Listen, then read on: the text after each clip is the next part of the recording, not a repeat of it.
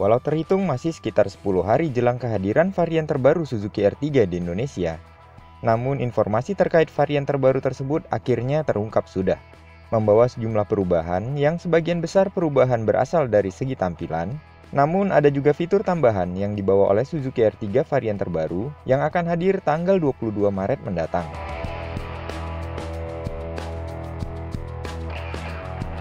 Bila dalam video sebelumnya kami memprediksikan kemungkinan fitur-fitur apa yang mungkin akan dibawa pada varian terbaru dari Suzuki R3, kali ini sudah jelas perubahan apa yang akan dibawa oleh Suzuki R3 varian terbaru nantinya. Berawal dari postingan akun Instagram Indra Fatan, yakni sebuah surat tertanggal 8 Maret 2019 yang ditujukan untuk para dealer Suzuki roda 4 yang menyebutkan akan hadirnya varian Suzuki Sport dari R3 dengan perubahan-perubahan yang dibawanya mulai dari grill depan bagian atas dan bawah, hingga penambahan lampu DRL di housing fog lamp, yang selengkapnya bisa dilihat dalam gambar yang diposting oleh akun Instagram Indra Fatan.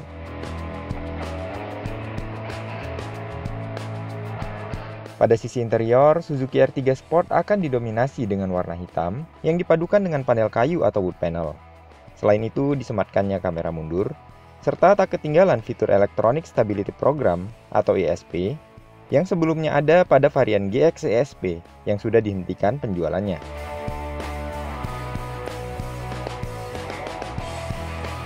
Beredarnya informasi tersebut juga membuat kita mengetahui bahwa dua varian Suzuki R3 Sport nantinya akan dilabeli dengan harga 241 juta rupiah untuk varian transmisi manual dan 251 juta 500 ribu rupiah untuk varian transmisi matic yang berarti lebih mahal dari varian GX Matic-nya yang saat ini dibanderol dengan harga 240 juta rupiah.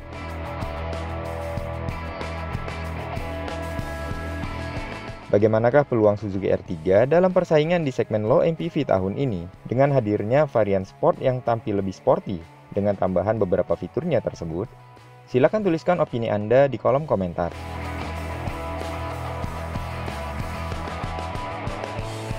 Terima kasih sudah menonton. Jangan lupa untuk like, share, dan subscribe jika belum untuk video terbaru lainnya. Sekian, Hari Wibowo Channel.